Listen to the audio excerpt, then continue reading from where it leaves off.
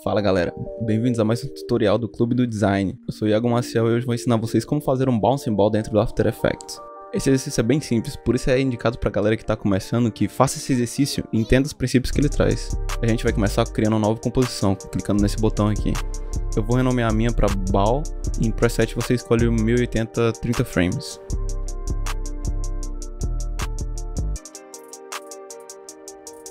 Agora a gente vai criar um sólido para usar de background. Usando o atalho Ctrl Y. Mas você pode achar ele no menu Layer New Solid. Eu vou chamar de BG e colocar na cor branca, mas aí vai do seu critério. Beleza, aí em seguida a gente tem que criar a bola. No caso a gente vai usar a Ellipse Tool. Se ela não estiver aparecendo aqui para você, você pode clicar e segurar. E ela vai aparecer.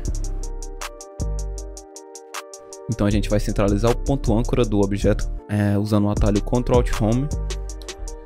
E depois centraliza a elipse na composição utilizando o atalho Ctrl Home. Inclusive esse atalho eu uso muito, é uma mão na roda para mim.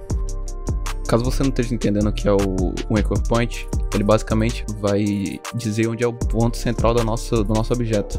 No caso você pode selecionar essa ferramenta aqui que ela permite você é, mover ele livremente. Você pode perceber que onde eu coloco ele, é, esse ponto vira o ponto principal da, da, do objeto. Se você mexer, ele vai acompanhar esse ponto exatamente. Beleza, então eu vou colocar ele aqui embaixo. Que eu preciso fazer um movimento de achatar com ele. Agora a gente precisa mexer na posição. Como o movimento da bola que a gente vai fazer é, é quicando, então ela vai, só vai mexendo no eixo Y, que é para cima e para baixo. Então você vai aqui na, na posição e separa as dimensões. Então o eixo Y fica livre para você mexer somente ele. Você não vai precisar lidar com o gráfico do eixo X na hora de, de amaciar essa animação. Bom, vou fazer o meu, meu ball symbol aqui com um tempo de 20 frames. Você vai colocar o primeiro keyframe aqui no, no ponto 0, no, no eixo Y, o segundo no 10 e o terceiro no 20. Aí você aperta o N para limitar sua área de trabalho aqui, até o ponto 20. No primeiro frame, a gente vai jogar a bolinha para para cima, que ela vai vai cair, então ela vem de cima para baixo. Vai levar ela para baixo e o último frame a gente precisa repetir o primeiro. Que ela vai bater no chão e subir de volta. Então você pode ver que a animação tá um pouco dura, né? gente vai melhorar isso agora. Você vem aqui no Graph Editor, aí você vai ter a representação visual do que a bolinha está fazendo. Caso não esteja aparecendo para você dessa forma, você vai clicar nesse, nesse menu. Provavelmente o seu deve estar em Speed Graph, que é esse aqui. Aí você vai lá e troca para Value Graph. Que em certas ocasiões ele é mais amigável para você mexer. Então a gente vai selecionar esses dois keyframes de baixo e apertar F9. Vai aparecer esses handles aqui, que é o que a gente está acostumado a mexer no Photoshop, no Illustrator. Então a gente vai clicar em cima deles e arrastar para dentro, segurando o Shift.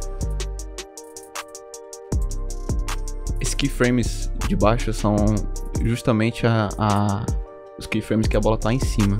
Então a gente puxando esses handles para dentro, a gente está é, fazendo com que a animação do, da bola, quando ela tá lá em cima, ela dure mais tempo.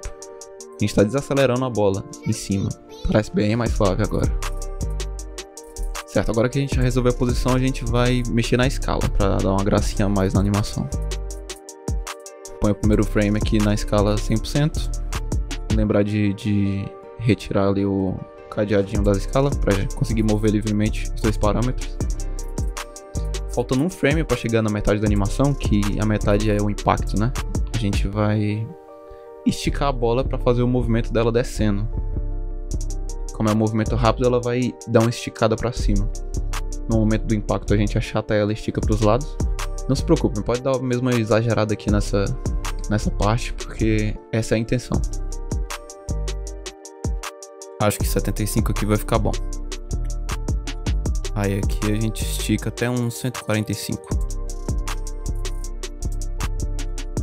Aí pulando mais um frame, a gente só copia esse aqui pra cá. que ela vai estar tá fazendo basicamente o mesmo movimento de subir. Beleza, aí no final você repete o primeiro frame. Vamos dar um preview pra ver como é que fica.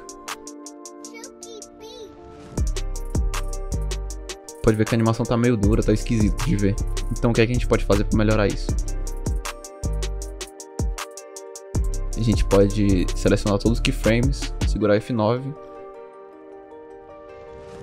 Também acho que cabe um frame na hora que ela tá subindo para dar uma achatada, como se ela estivesse sofrendo resistência do ar.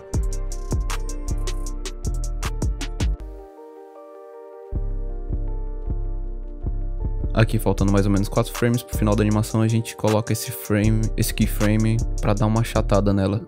E é muito importante quem tá começando tentar criar esse senso em você para saber quando a tua animação tá boa e quando não. Vamos dar uma olhada como é que fica.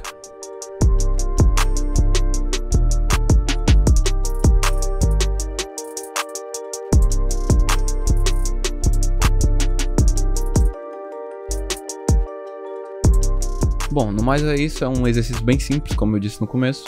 A gente conseguiu chegar num resultado bem legal aqui. Não esqueça de seguir o canal do Clube do Design para ver mais tutoriais. Lá você encontra não só tutoriais de After e de Motion, mas como de Photoshop, Illustrator, CorelDRAW. E manda aí pra gente seu exercício de Bouncing Ball. Valeu e até a próxima.